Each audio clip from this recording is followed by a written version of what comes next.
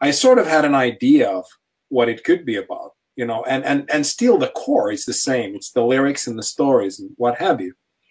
But right now, um, I'm, I've realized during the past two months or three months that you know it can be more. It, it it can have a lot more variety than I initially thought, and hence, you know, as we've had these conversations, like um, what what else can you do if you don't if you can't include the artist in a manner where you do a write up on their music, then what else can you do for them? And there's there's a plethora of things that you can do.